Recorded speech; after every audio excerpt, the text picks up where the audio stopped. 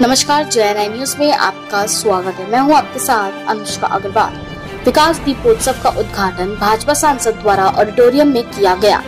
बाराबंकी के राजकीय inter college auditorium मैदान में विकास दीपोत्सव मेले का उद्घाटन जिला अधिकारी डॉक्टर आदर्श सिंह और बाराबंकी के सांसद उपेंद्र रावत व चेयरमैन लाला रंजीत बहादुर श्रीवास्तव, बाराबंकी जिला पंचायत की अध्यक्ष राजरानी रावत और भारतीय जनता पार्टी के अन्य सदस्य लोगों की मौजूदगी में किया गया।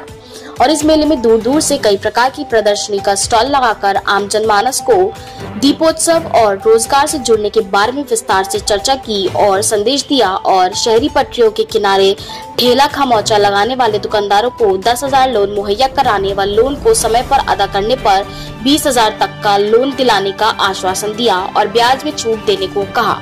आइए देखते हैं अयोध्या मंडल ब्यूरो चीफ रवि वर्मा की रिपोर्ट। आप किस समूह से हैं? विकास दीपोत्सव में किस चीज़ का स्टॉल लगाए हैं?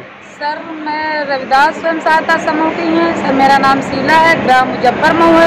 मैं स्टॉल यहाँ बाराबंकी में लगाए हुए हैं मोमबत्ती धूपबत्ती अगरबत्ती जूट। अच्छा जो आपका विकास में जो है कुल कितनी सदस्या हैं और जो है किस चीज़ का स्टॉल है? ये दीपोत्सव में जो आपने दिए लगाए हैं ये स्वयं के निर्मित है ये मार्केट खरीदा है? नहीं सर स्वयं के बनाए हुए हैं। अच्छा जो आपने ये दिए जलाए हैं बहुत ही पुरानी विधा है मिट्टी के दिए हैं हाँ। इसे आप जनता को क्या संदेश देना चाहती हैं? सर यही संदेश देना चाहते हैं कि मिट्टी का ही दिया जलाइए आप। जिससे प्रदूषण ना हो। अपना सर यही। धन्यवाद। भैया बेसिक शिक्षा विभाग में जो प्रदर्शनी लगाई गई है विकास दीपोत्सव में। इसका समाज क्या मैसेज है, क्या उद्देश्य है?